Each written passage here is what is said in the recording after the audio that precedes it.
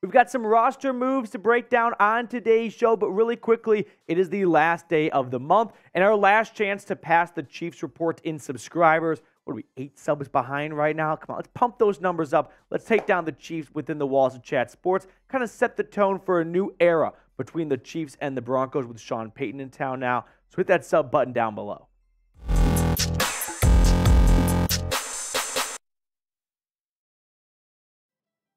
Coming up on today's show, we are going to break down all of the Broncos roster moves as George and Sean Payton have hinted at some players going to short term IR, freeing up some roster spots. And sure enough, they delivered on their promise. So let's not wait any longer. Let's get into it. Three guys were placed on IR today, which knocks them out for the first four weeks of the season. Cornerback K'Waun Williams, who suffered an ankle injury early in camp. He got surgery on it last week in North Carolina. He is out for the first four weeks. Uh, safety PJ Locke, he suffered a leg injury during training camp. And then the UDFA offensive tackle Alex, Alex Palczewski, he suffered a dislocated finger in the final preseason game. I don't know if it requires a month to bounce back or even more than a month for a dislocated finger, but my guess is Denver didn't want to lose him, but they figured we'll kind of just stash you on injured reserve and then hopefully, well, not hopefully, but inevitably, when you guys are back from four weeks, there'll probably be some new guys going to IR so we can just swap you guys in and out. Now, there were two notable players who did not land on injured reserve wide receiver Jerry Jeudy and cornerback Riley Moss. Of course, Jeudy suffered a hamstring strain during the joint practices with the Rams. There was some initial fear that it could be very serious. Ultimately, Denver dodged a bullet, and Jerry Jeudy, who I don't think is going to be ready to go for the first week of the season, clearly Denver believes that his injury will not have him miss at least four games. So maybe they think it could be one, two, or even three weeks. But ultimately, Denver wants him back as soon as possible. And if he went to short term IR, he's out for the first four weeks. Meanwhile, the third round pick out of Iowa, Riley Moss, suffered a sports hernia injury, had to get surgery on that way back in late July, early August, and he did not land on short term IR, which is very encouraging to see. So hopefully, we'll get our first real look at the rookie from Iowa City sooner rather than later. So when those three guys went to IR, that opened up three roster spots, and this is what we talked about on the show. Mike Purcell is back. Cornerback Fabian Moreau is back, and offensive lineman Quinn Bailey. So I told you guys when those players would go to IR, Denver would bring back some of the players that they released slash waived, and it was more just an under the table agreement of, hey, Mike, we did this last year with you. You know the deal. We're going to release you right now, and once we get a roster spot open tomorrow, two days from now, we will bring you back. So sure enough, these three players are re-signed. So let's kind of run through the updated depth charts now that those players have been uh, you know, moved around a little bit, starting with the cornerbacks. No K'Waun Williams. He's out the first four weeks. I think Essang Bassey, after a really strong performance in the preseason, is going to be your starting slot nickel corner with Pat Surtain and Damari Mathis as your two outside corners. As for the safety room now, PJ Locke goes over to IR, but you're already very deep at safety, right? Kareem Jackson slash Caden Sterns they're kind of your co week one starters. We'll figure out which one Denver ultimately goes with. And then Delarrin Turner Yell on special teams is awesome. And JL Skinner, a rookie, is just sort of, uh, you know, getting the swing of things. As for the offensive line, Alex Palczewski goes to IR. So Quinn Bailey comes back to the active 53 man roster and is the ninth guy on this uh, depth chart here, or ninth player in the offensive line room. If something were to happen to Quinn Meinerz or Ben Powers, I think Bailey would probably be one of the first guys to step up on the interior side. Cam Fleming is your swing tackle. Luke Wattenberg, truth be told, I'm not crazy about him. And if he was not a fifth round pick last year, he probably wouldn't be on the roster right now, but here he is still. So that is an updated offensive line look. And as for the defensive line, Denver's got a six man rotation going with Zach Allen, DJ Jones, Jonathan Harris, the UD, uh, UDFA from two years ago, last year, Elijah Garcia. Last year's seventh round pick, Matt Henningsen, and then the veteran Mike Purcell rounded out. Now, the biggest question mark, though, is not one of those rooms we just looked at. It is the wide receiver room because when Denver placed those three guys on short term IR, I thought surely a wide receiver is coming now to the active roster because Denver currently has four wide receivers and only three are healthy. You cannot play a game with four wide receivers, and you definitely can't play a game with three wide receivers. I think what Denver's strategy is, they're going to elevate two to three guys from the practice squad on game day, week one against the Raiders. They probably want to get another 10 days, well, it's 10 days until week one, another week or so of practice in and go, all right, let's have some competition. Let's see who the most deserving, who the best guys are from the practice squad to come up, whether that's Michael Bandy, Lil'Jordan Humphrey, Phillip Dorsett, a couple of the notable names on the practice squad as of now. But what's your panic level over the Broncos wide receiver room? Scale it 1 to 10.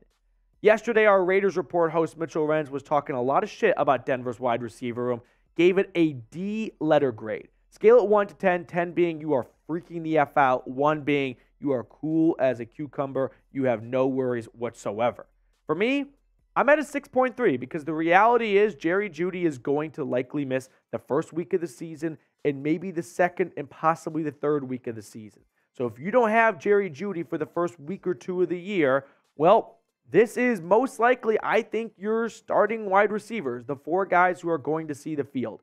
If I had to take a swing at it, Courtland Sutton, Brandon Johnson, Phillip Dorsett, and then the rookie, Marvin Mims. And outside of Courtland Sutton, there's not a lot of recent experience, right? And even Courtland Sutton is not coming off a phenomenal stretch of his career. It's been tough sledding lately for the former SMU player. Brandon Johnson was a UDFA last year who got an ankle injury in the preseason, came back later in the year, had some nice moments. Phillip Dorsett, longtime Colt and Patriot, he was with the Texans last year. The Texans were just hot garbage. They were not even hot garbage, they were cold garbage. But it still goes to show this is a very thin wide receiver room, especially for a quarterback like Russell Wilson, who after last year could probably use some help and some playmakers at the wide receiver spot to get him back into a rhythm.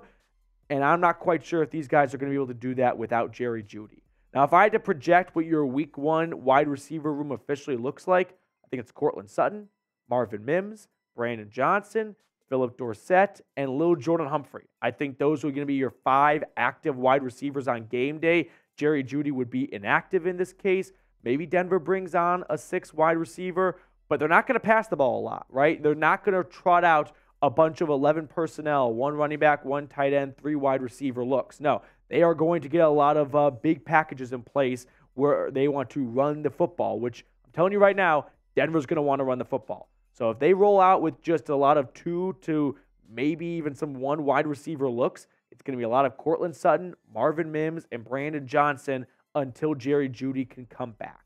Now, before we even dive into this uh, story a little bit further, our sportsbook partner BetUS, they've got a great deal for Broncos country. Go to chatsports.com slash bet.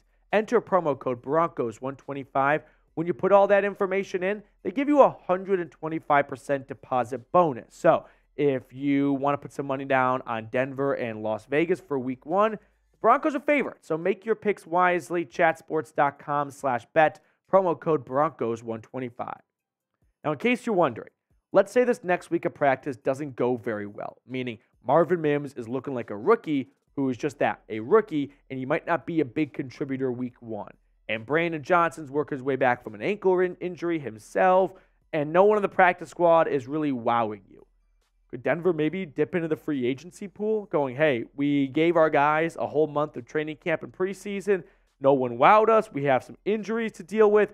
Let's not mess around. Let's go get a proven commodity, right? We're not going to ask for Julio Jones or Jarvis Landry to come out here and start 17 weeks. Initially, that's not the plan, but maybe we can get a couple of weeks out of them until we can kind of get through this hump of no Jerry Jeudy. I wouldn't rule this out as a possibility. I think Denver's plan is this bank on Courtland Sutton and Marvin Mims for two weeks, right? They're going to look to Courtland, they're going to look to Marvin, and they're going to say, can you guys get us through this tough two week stretch until we can get Jerry Jeudy back? However long it is, right? One week, two week, three weeks, hopefully no longer than that. And we just got to figure out a way to just soldier on through it might not be pretty. We might not have big splashy plays coming from the wide receivers. We might be focusing on the run a little bit more than planned. But ultimately, we're not going to go out there and try and find a new Jerry Jeudy for one to two weeks, right? We just got to deal with what we have here and next man up mentality until Jeudy can come back. Now, before we kind of put a bow on this subject, one quick thing I want to plug. our Raiders report host, Mitchell Renz, who does a great job here at Chat Sports covering the Raiders. He is live right now, as you are watching this most likely, on the Raiders report getting a Raider tattoo. So I'm calling on all of Broncos country to go on over to the Raiders report, click that thumbnail, and start spamming DEN in the chat. Let them know that Petey sent you, and let's get Raiders fans all sorts of, uh, you know, riled up and whatnot because they've had Denver's number for far too long for how poorly run of a franchise they are. So let's let Raiders, uh, let's let the Raiders uh, nation know that Broncos country sends their regards. Now, before we get on out of here, I've got a hot take because we only have 10 days of these left, nine days after today. It is a very toasty 96 degrees today in the Mile High City. So, first take hot take is this might get a lot of blowback. Having Mondays off, which we all have coming up for Labor Day weekend, is better than getting Fridays off. My reasoning is when you get a Friday off, you don't do a lot for the majority of the Friday until everyone else is off on Friday, right? You're still going to go out to the bars afterwards. Maybe you go out a little bit earlier. Maybe you're going to get there at happy hour at four or five o'clock. Whereas if you're coming off a work day, maybe you're getting there on six o'clock ish, but you're only gaining a couple extra hours. Whereas a Monday off, you're still having a fun Friday with your with your lads, and then Saturdays off, Sundays off, and you get all of Monday to avoid the Monday scaries, which now become the Tuesday scaries. So for me, give me Mondays off every single day of the week over a Friday. But with Labor Day around the corner, I want to know from everyone watching still at this point in the video, what are your Labor Day plans? Are you traveling somewhere? You're going to hang out at home? Let me know down in the comment section. I love ending videos with these types of comments and questions because it's a good way for me to get a gauge of who watches all the way into the end of the video so I can recognize the MVPs of the channel. That will do it for us on today's show. We will let you guys go and enjoy the rest of your day. Like the video, subscribe, notifications, yada, yada, yada. You know all that good stuff. And we will see you later.